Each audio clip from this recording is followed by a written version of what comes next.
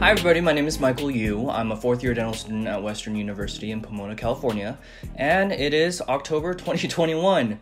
That means it's that time of year again. Time for dental school interviews. Now, this video isn't about all the tips and tricks that I can give you to ace your dental school interview, but it's more so rather on topics that you should know for your dental school interview. For the past two years, I've been doing dental school interviews, and because I know some of my professors watch these videos, I'm not going to give away any Western U secrets. However, over these past two years, I've noticed that there are certain topics that some pre-dental students don't know about. I really hope that this video will help you get a small introduction into those topics and hopefully helps you out if those topics come up during your dental school interview. So let's get into it.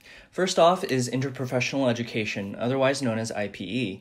For the past few years, dental schools have been pushing this curriculum to promote interprofessional collaboration within the different healthcare fields. This means dentistry, optometry, medicine, all the different fields. What you need to know is if any dental interviewer asks you what IPE is and what it means to you as a future dental professional, you're going to have to be able to respond first by knowing what IPE is and having a good answer for it as well. If you'd like any more information on any of these topics, I'll link all the subjects down below in the description. I implore you to check them out if you would just like a little bit more information on these. Secondly, we have different specialties. Now, there have been a lot of changes within this subject alone within the past year. When I started dental school in 2017, there were only nine dental specialties. Now we have 12. So, just to get technical for a second, I'm to list out all the different specialties, and of course, again, I'm to link everything down below. So, dental public health, endodontics, oral and maxillofacial pathology, oral and maxillofacial radiology, oral and maxillofacial surgery,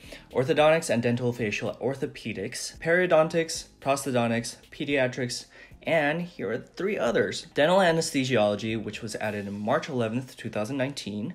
The following year, oral medicine was added March 2nd, 2020. And the, later that month, orofacial pain was added March 31st, 2020. Now, you don't need to memorize those dates, but if during an interview you're asked, what specialty would you like to go into? You'll at least know that there are now 12 specialties rather than 9. And just by knowing that, you're already ahead of the game. Congratulations. Number 3 is a topic that came up in both of my dental school interviews uh, periodontal disease and its many effects on dental health. Now, it's commonly known that periodontal disease, periodontitis, has a lot of effects on myocardial infarctions, heart attacks, and diabetes. Emerging evidence suggests that existence of a two-way relationship between diabetes and periodontitis. Now, this goes hand in hand with interprofessional education because if you do have a diabetic patient, you're going to have to work hand in hand with their primary care physician in order to provide the best dental health care possible. What that means is if a person has a HbA1c above a 7, or in other words, their diabetes is uncontrolled, it's going to be hard for them to heal.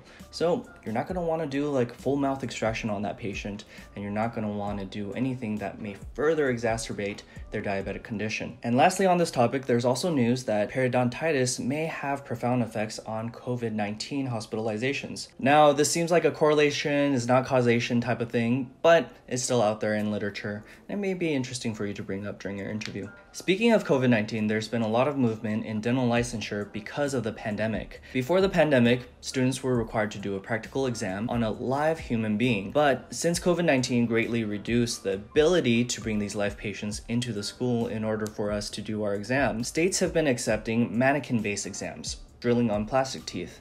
Now, for the past two years, they've been doing this as well. But before the pandemic, you should know that this was a big push by all dental students and dental schools to move from a live patient to a mannequin based exam. Reason being is say a dental student were to do a filling on a live patient and that student happened to fail that exam, what does it mean for that patient that now has a failing restoration or a failing filling in their mouth? The ethics behind that gets a little convoluted, and that's why a lot of dental students have been pushing for these mannequin based exams. If they're here to stay, I don't know, but it is still a topic for discussion and it's probably going to come up either during your interview or sometime during your dental education. Lastly, we have mid level providers. If anywhere in your application you said that community service means a lot to you, and that providing access to care is at the core of who you are, you're going to have to know what dental health aide therapists are. Dental health aide therapists, otherwise known as DHATs or dental therapists, have tremendously helped rural areas provide access to care through teledentistry. Now, DHATs have been a contentious topic for the past few years within the dental field because the question about if they have enough education to actually carry out Dental treatment is still up for debate.